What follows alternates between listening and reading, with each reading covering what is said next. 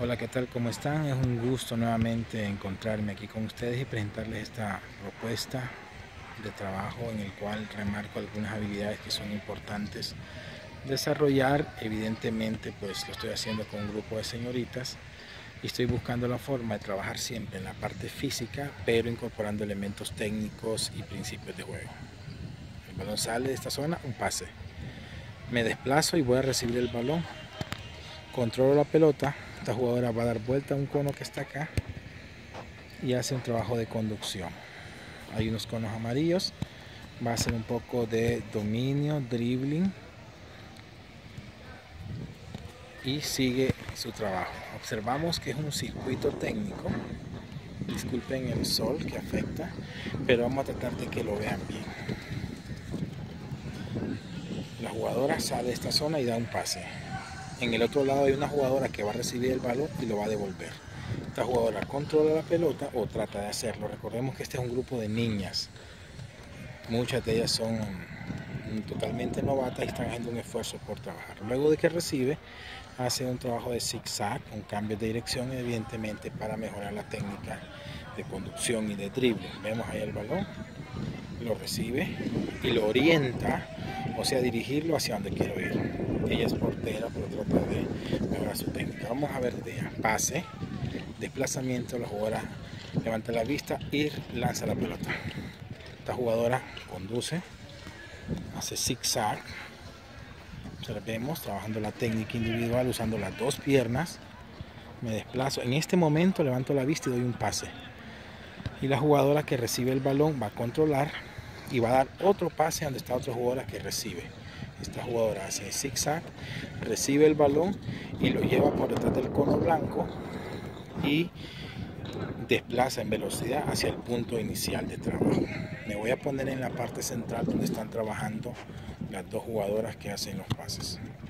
Aquí vemos las dos jugadoras que son las que distribuyen el pase. Hay un detalle importante, las dos regresan al cono rojo y cuando viene el balón ellos van, controlan pasa, pero hay que trabajar la anticipación. Es importante enseñarles que siempre que el balón viene hay que buscarla. Mira, está en el cono rojo, cuando viene el pase se desplaza hacia el frente. Lo va a buscar la pelota, controla, orienta. Vamos Ana Pau, hágalo bien. Y hace el pase.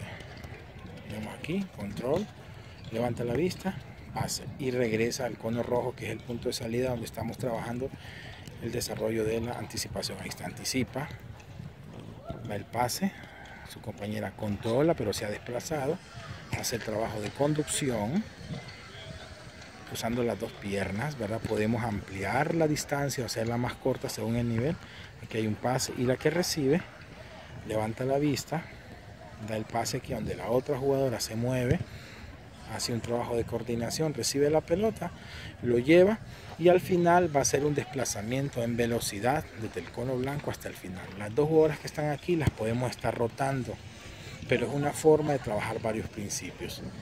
El pase, la anticipación y el control, el pase también, el control orientado, la llevamos donde queremos y hacemos un trabajo técnico de dribbling usando las dos piernas es importante otra vez pase. Y así sucesivamente estamos trabajando y estamos cambiando la dificultad estamos cambiando la exigencia pero lo importante es que trabajen la fundamentación y están en continuo movimiento todas las integrantes del equipo. Estamos cambiando las posiciones por ejemplo aquí las cambiamos para que todas eh, tengan la responsabilidad de moverse de anticipar y dar un pase con cierto sentido y con cierta orientación Vamos a ver una vez más, pase, anticipación, control orientado, pase, control, desplazamiento en velocidad. Ella es una de las jugadoras más em, experimentadas. Mira cómo trae la técnica, pasa y la vamos a seguir a ella.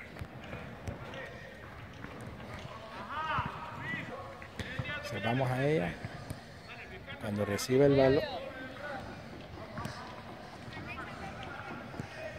va a recibir el balón, control, levanta la vista, pasa, hace zigzag, que también es parte de la coordinación, recibe el balón y sale por la línea de atrás. Este es un trabajo que incorpora varios elementos, pero la idea es trabajar la parte física junto con la parte técnica.